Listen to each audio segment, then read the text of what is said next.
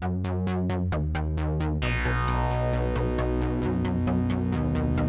everyone, my name is Daniel Backer. Welcome to Write Better Stories. This is my son Pringle. Today we're going to talk about the new movie by Quentin Tarantino, Once Upon a Time in Hollywood.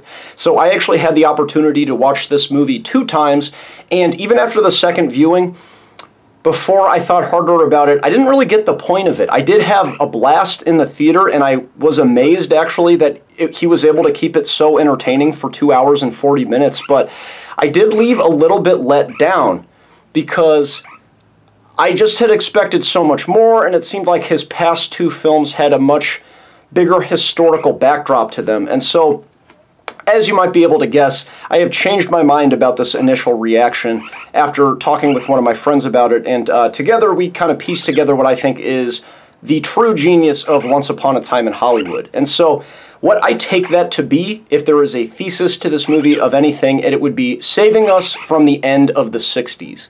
Now, Basically, what I mean by this is that historically, the 60s has always been considered a very enormous boom for the counterculture, and it was a time when everything was evolving so fast for America that there was this sort of sugar high of the way that America saw itself. Now, obviously, in the true historic reality, the 60s is also a time that was very politically fraught for many, many different people.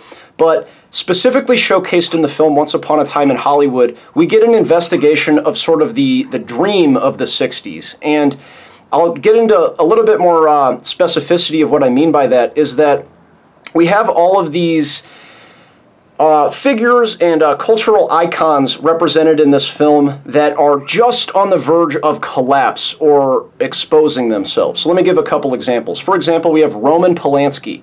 Now, I don't know if you're familiar with history, but in the real world, Roman Polanski turned out to be a pedophile. Um, and I shouldn't have to tell you that that's very bad. So, um, what's interesting though in the film though is that we see Roman Polanski before he is a pedophile. He is just considered a visionary director at this time that Leonardo, DiCaprio, uh, Leonardo DiCaprio's character really wants to work with at some point. But speaking of Leonardo DiCaprio's character, he is a Western TV star, and his career is basically just at the end.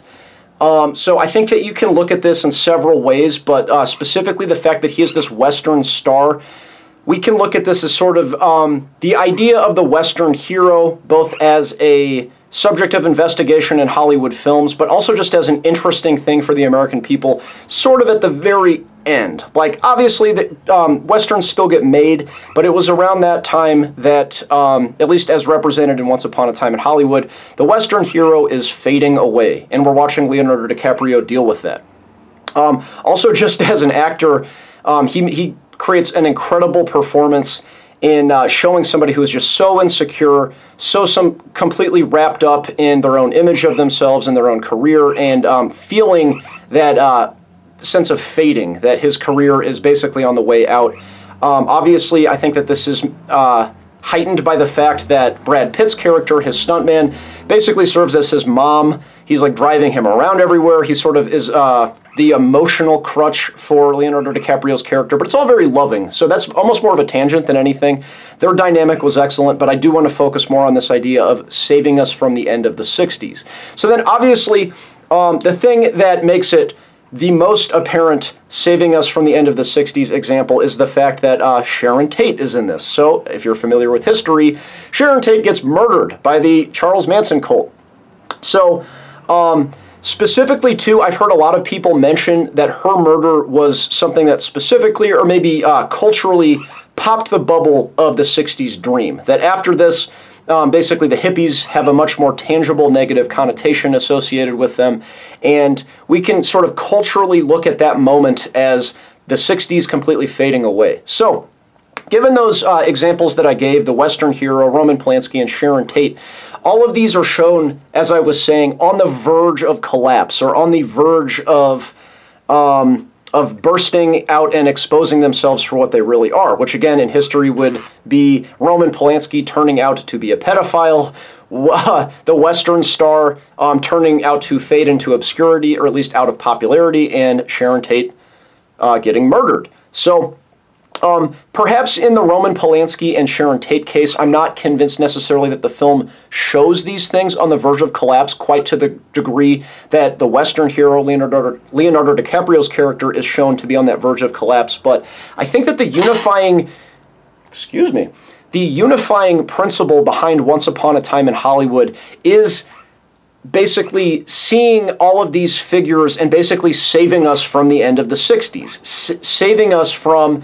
having to have Sharon Tate's murder pop the 60s bubble, saving us from having to grapple with the fact that Roman Polanski turned out to be a true sexual deviant any way you slice it, and um, saving us from having our traditional modes of heroism as presented by the Western genre subverted or at least faded into uh, obscurity and out of popularity. So that I think I have laid out relatively clearly of what I think is like the uniting principle, and I think what solidifies my point more than anything is the title of the film. That Once Upon a Time in Hollywood even though it is, uh, oh, sort of a similar construction of other titles of movies that have been released before, it's also a very fitting way to describe this sort of bygone image. Ow, he just, he just bit me. Can you believe that? It's a great way to describe this bygone image of Hollywood and American culture and the sort of image of America as it would like to see itself. Um, basically, to steal from David Foster Wallace in his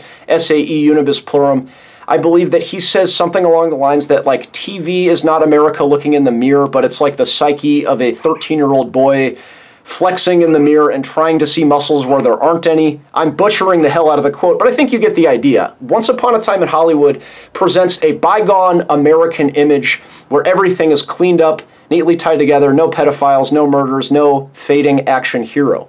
Now, I think that you could dedicate a much, much longer analysis than I'm prepared to give in this video today as to how experimental and risk-taking this is as a narrative to, um, yeah, basically lay out a two hour and 40, uh, and 40 minute movie that doesn't have a lot of the traditional pieces of advice that I give on this channel. So, in a way that this could help us write better stories, might be a good thing for you to analyze if you are trying to break a lot of the traditional rules of plotting, character action to move the plot forward, anticipation of action, etc. Because even though all of these things are laid out as I've described, with all of these fading images of the 60s and America's image of itself, I think it is obvious just in the way that the movie was pitched and in the narrative action of the movie that we get this dynamic between the actor and the stuntman who actually does everything. And so I don't think that I need to deliver too much analysis of this. I think it's pretty clear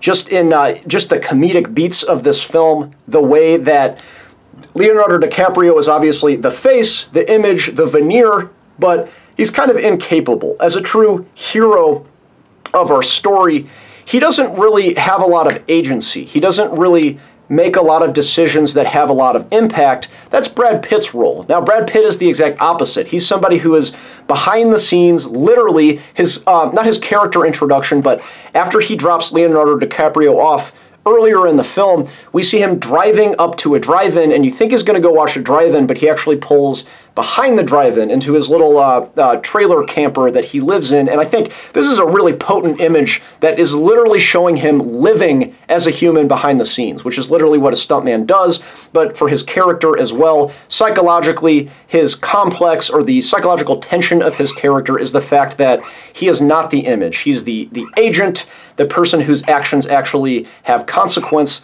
And I think that one of the coolest thematic ties in for this character is when Brad Pitt goes to the hippie commune and talks to the director that he used to work with. I think it was a TV director. It might have been another role on set. But he talks to him, and it's both humorous and also, I think, significant for the point that I'm trying to make that this director doesn't recognize him. That um, perhaps this is another thing that is on the verge of collapse as presented in Once Upon a Time in Hollywood that we have this guy who is one of the only characters who does have agency, who does push the plot forward, and the uh, the director of of this. Uh, of the, the Western shows that we've already described are sort of teetering on the edge of uh, not becoming popular anymore, doesn't remember him. And so we can interpret this, you don't have to, but I interpret this as uh, basically the movie saying that um, we are at risk of losing the actual uh, hero, the actual person who um, creates agency, who makes decisions, and that sort of thing, and instead we will have to settle for an image or a veneer. I haven't completely worked that part out yet, but um, as I was saying, I think that just that their dynamic is so fascinating because it is playing with the tension of kind of a protagonist, which is what I think Leonardo DiCaprio is at least supposed to present itself, present himself to as I'm having trouble saying this. He is trying to present himself to the audience as the protagonist, but we have to deal with the tension that really the only uh, things that he does when he's on scene or, or, or, on set are kind of trivial and inconsequential to the plot. And um, basically, our guy who's supposed to just be the sidekick is actually the person who is making things happen. And so I got a little bit rambly there toward the end and stuttered a little bit, but just to leave it off, I think that it is pretty fascinating, as I was saying, that he was able to take this sort of experimental take on a protagonist that doesn't have any agency and spin it into this very compelling narrative that, again, takes two hours and 40 minutes to tell. And when the credits came up at the end, I was surprised. You could have convinced me that there was another hour to go. I was very immersed in this film, even though watching it both times, I didn't really have an analysis until I, I talked it out with uh, one of my friends. So I think that, if anything, what this could do is uh, help you write better stories in such a way to give you a protagonist that doesn't exactly follow all of these rules that I'm telling you, which is what I already said. This is, um, I think, sort of similar to the investigation of the dude's role in The Big Lebowski, and so it might be interesting to compare The Big Lebowski and Once Upon a Time in Hollywood, at least from a narrative perspective and a protagonist perspective. And I think that the hippie themes in both of them are worth investigating as well. Um, if yeah, if you do want to create a character that is sort of defined by the fact that they don't have actions that have consequences. So I'm going to leave it at that today. I hope you guys like the video. I'm also going to be doing another video very soon that is a much longer deep dive on the book Warlock, which if you've been with the channel from the very beginning, you'll know that I started this back in January and got very busy and had to update my equipment.